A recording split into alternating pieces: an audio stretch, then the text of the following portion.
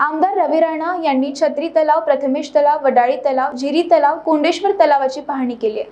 गणपती विसर्जन पूर्व नागरिकांना गैरसोय होऊ नये. तिथे लाईटची व्यवस्था व्हावी पार्किंगची व्यवस्था व चोख सुरक्षेच्या दृष्टिकोनातून जेणेकरून कुठला अपघात होऊ नये आणि इतर बाकी सर्व व्यवस्था याची मनपा आयुक्त व अधिकारी यांच्या समवेत पाहणी केली आहे. सर्व अधिकारी यांना निर्देश देखील दिले आहेत. सगळं साफ असलं पाहिजे असं वाटलं पाहिजे कुठेतरी क्लीन आहे चौपाटीसारखं वाटलं पाहिजे वातावरण. तुला माहिती नाही दरवर्षी येत आहे तुला माहीत रोज चालू आहे. स- साफ करायला पाहिजे रोजचा अरे सकाळी झालं.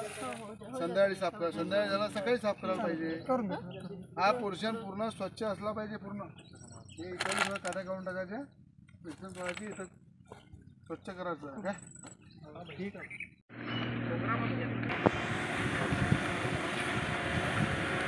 मोठे गणपती इथे आता काही काही वीस वीस फुटाचे वीस फुटाचे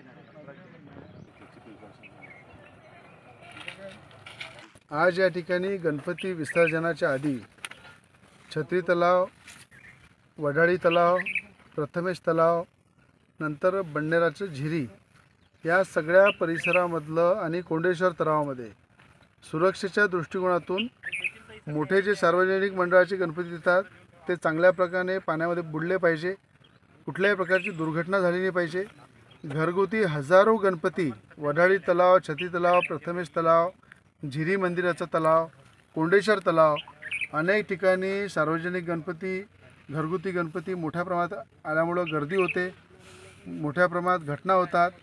त्या घटनेपासून सावधानीसाठी कॉर्पोरेशनचे सगळे अधिकारी आणि संबंधित सगळे अधिकारी या ठिकाणी आम्ही सगळीकडे व्हिजिट करून या व्यवस्थेला सज्ज करण्यासाठी लाईटिंगची व्यवस्था आहे.